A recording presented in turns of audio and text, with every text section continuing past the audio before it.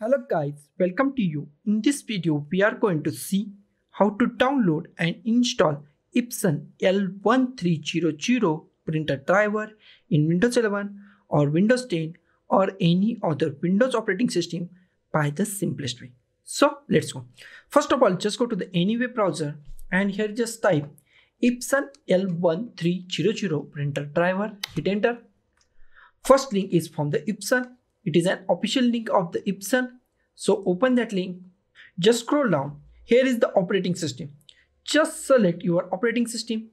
In this case, I am using Windows 11 64-bit. If you're using Windows 10 32-bit, then go to the Windows 10 32-bit, 64-bit, then 64-bit, 7, then go to the 32-bit, or 7 64-bit, then go to the 64-bit.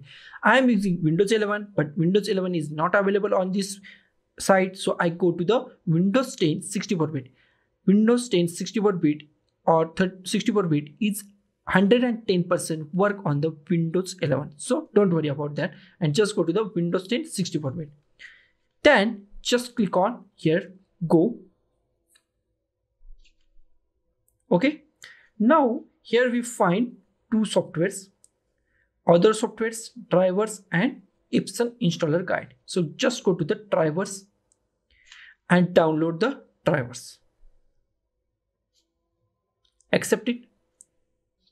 And our down drivers are downloaded on the our machine. Okay. Then go to the show all, show in a folder. Then drag this to desktop. Okay. Now we just go to the our site once again at here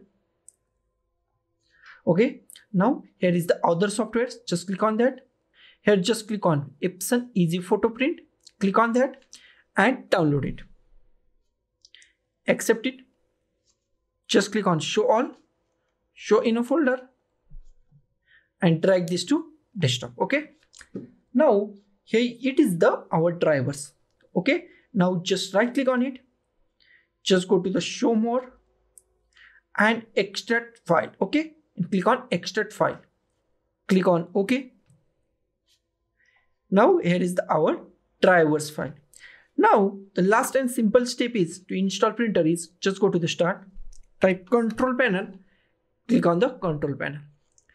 Here we find printer devices and printers. Just find devices and printers. Just click on that.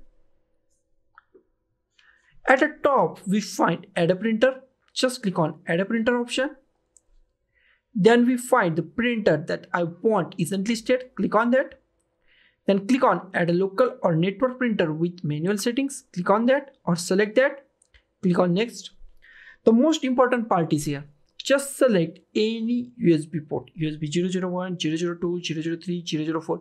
Any USB port. I select the USB port. Now click on the next. Here just click on have a disk. Click on browse just go to the desktop our files are on the desktop and just find L1300 okay? Double click on it double click on it 64 bit then here is the our drivers. Just select that file okay? Open okay? Here is the our printers drivers. Select that click on next click on next click on yes.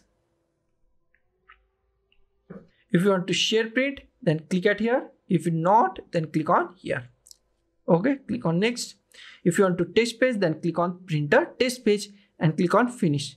Now our printer is installed. Just check. Just go to the devices and printers. Here is the our printer. Now we just install this software also. Just double click on it. Click on yes.